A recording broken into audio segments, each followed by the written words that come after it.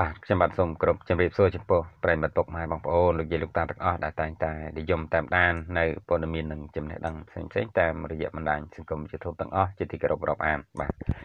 បាទថ្ងៃនេះខ្ញុំបាទបានលើកយកនៅអត្ថបទព័ត៌មានមួយទៀតហើយបាទដែលមានចំណងជើងថានៅចាំទេ បាទរឿងរ៉ាវចាប់សង្សារខ្លួនរួចញាត់ចូលក្នុងធុងទឹកកកយកទៅទម្លាក់ចោលនៅគល់ស្ពានព្រែករូងត្រូវតុលាការបានប្រកាសសាលក្រមឲ្យចុចចុច បាទប្រកាសសាលក្រមយ៉ាងណាបាទបាទគឺនៅខេត្តកណ្ដាលបាទសាលាដំបងខេត្តកណ្ដាលបាន បាទប្រកាសនៅព្រឹកថ្ងៃទី22ខែកុម្ភៈឆ្នាំ2019នេះបានបើកសវនកម្មបាទជំនុំជម្រះសំណុំរឿងឆក់បាទចាក់សម្លាប់សង្សារខ្លួនឯងយ៉ាងសាហាវព្រៃផ្សៃរួចញាត់ចូលក្នុងធុងទឹកកកយកទៅទម្លាក់ចោលនៅកុលស្ពានព្រែករូងទី2ស្រុកខ្សាច់កណ្ដាលបាទ ប្រកាសសាលក្រមថ្ងៃទី12ខែមិនិនាឆ្នាំ2019ខាងមុខបាទសវនកម្មនេះមានលោកកមេងជាចៅក្រមបាទជំនុំជម្រះសាលាដំបងខេត្តកណ្ដាលមានលោកទីសំណាង ជាចៅក្រមមានលោកឆែវិវឌ្ឍនៈបាទជាចៅក្រមនិងមានការចូលរួមពីលោកឯកសុនរស្មីបាទជាតំណាងអាយកាបាទក្រោយបញ្ចប់ ធ្វើការដេញដោលសួរនាំរួចមកលោកកមេងបាទជាចៅក្រមជំនុំជម្រះសាលាដំបងខេត្តកណ្ដាលបានសម្រេចលើកពេលប្រកាសសាលក្រមបាននៅថ្ងៃទី12ខែមិថុនាបាទខែមិនិនាឆ្នាំ2019ខាងមុខបាជនជាប់ចោតមានឈ្មោះថាសឿសុកផេងភេទប្រុសអាយុ31ឆ្នាំ មានទីលំនៅនៅភូមិដីថ្មីសង្កាត់គោកឃ្លៀងខណ្ឌសែនសុខ រាជធានីភ្នំពេញត្រូវបានលោកកឹមរតនារិនបាទចៅក្រមស៊ើបសួរសាលាដំបងខេត្តកណ្ដាលកាលពីល្ងាចថ្ងៃទី20ខែមិនិនាបាទឆ្នាំ2019បានសម្រេចចេញដីកាឃុំខ្លួនដាក់ពន្ធនាគារបណ្ដោះអាសន្នពីបទឃាតកម្មកិត្តទុកជាមុន បាទតាមមាត្រា200នៃក្រមព្រហ្មទណ្ឌ បាទបទល្មើសនេះកំណត់ផ្ដន្ទាទោសជនជាប់ចោតបាទប្រឈមមុខជាប់ពន្ធនាគារមួយជីវិតបាទដែលប្រព្រឹត្តនៅថ្ងៃទី16ខែមីនាឆ្នាំ2018បាទនៅចំណុចគល់ស្ពានព្រែករូង2ផ្នែកខាងលិចបាទតាមបណ្ដោយផ្លូវជាតិលេខ8ក្នុងភូមិអន្លង់ឃុំព្រែកតមៈស្រុកខ្សាច់កណ្ដាលខេត្តកណ្ដាល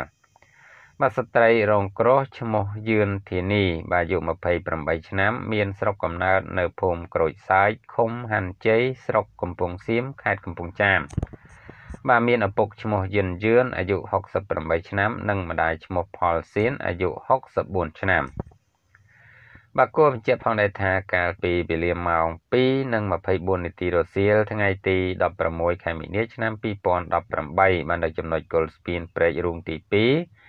ផ្នែកខាងលិចតាមបណ្ដោយផ្លូវជាតិលេខ8បាទក្នុងភូមិអន្លង់ឃុំព្រែកតមៈស្រុកខ្សាច់កណ្ដាលខេត្តកណ្ដាលបាទប្រជាពលរដ្ឋអ្នកបើកម៉ូតូកង់3បាន ប្រទះឃើញធុងទឹកកកពណ៌ក្រហម ចំណុះ200លីត្រមួយបាទចាក់សោ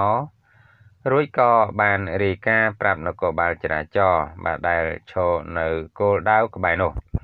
បាទភ្លាមភ្លាមនោះសមត្ថកិច្ចក៏បានចុះពិនិត្យដល់កន្លែងកាត់ហេតុឃើញធុងទឹកកកបាទខាងលើមានចាក់សោបាទពណ៌ចាក់សោពណ៌ខ្មៅបាទបន្ទាប់មកសមត្ថកិច្ចក៏បានកាត់ត្រចៀកធុងបាទតកក៏ឃើញសាកសពមនុស្សស្រីម្នាក់បាទអាក្រាតកាយបាទនៅក្នុងធុងតកបាទនៅក្នុងធុងតកនោះ អាយុចន្លោះពី28ទៅ35ឆ្នាំ បាទមានកម្ពស់1.50ម៉ែត្របាទនឹងមានសម្ភារៈដូចជាមួកសុវត្ថិភាពមួយកាបូបដៃមួយក្នុងនោះមានស៊ីមទូរស័ព្ទមួយបាទកំបិតចិត្តបន្លែចុងស្រួចដងធ្វើពីឈើបាទបាក់ផ្លែមួយអាវពណ៌លឿងមួយខ្សែភ្លើងមានដុយដាក់ក្នុងថង់ផ្លាស្ទិក បាទមួយអាវទំនាប់ពណ៌ផ្កាឈូកមួយដបទឹកសុទ្ធមួយរោបពណ៌ផ្កាឈូកមួយបាទមានប្រឡាក់ឈាម បាទកន្សែងពោះគោពណ៌សឆ្នោតមួយម៉ាស់ពណ៌ខៀវមួយបាទស្បែកជើងស្រីមួយគូនិងស្បៃដោះខ្លួនមួយបាទនៅលើមុខសាកសពបាទនឹងស្មាខាងស្ដាំមានស្នាម បាទបាញ់ស្ប្រៃថ្នាំពណ៌ខ្មៅ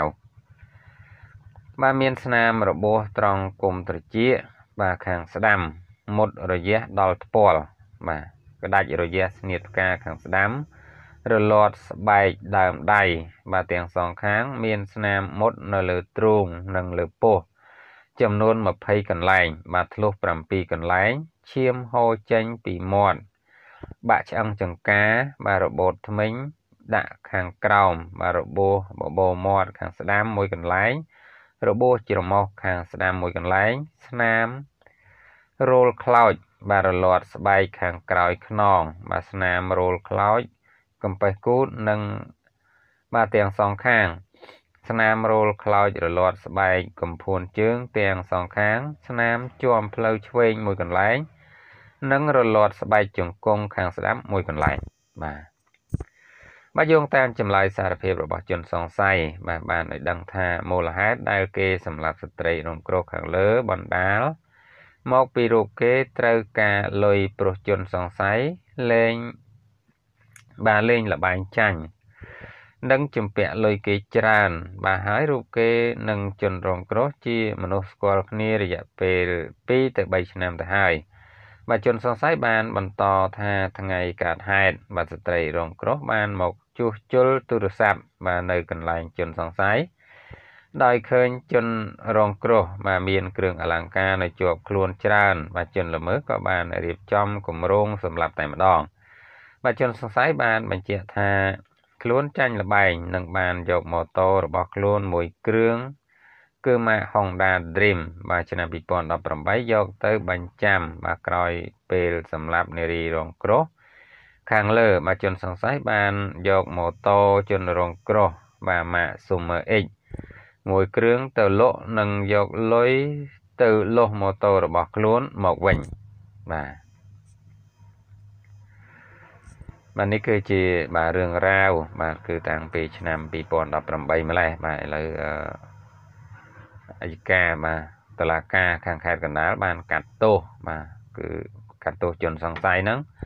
ជាប់ពន្ធនាគារអស់មួយជីវិត បាទដោយសារតែជនសង្ស័យនេះគឺជាជនដែលសាហាវបំផុតបាទគឺសម្លាប់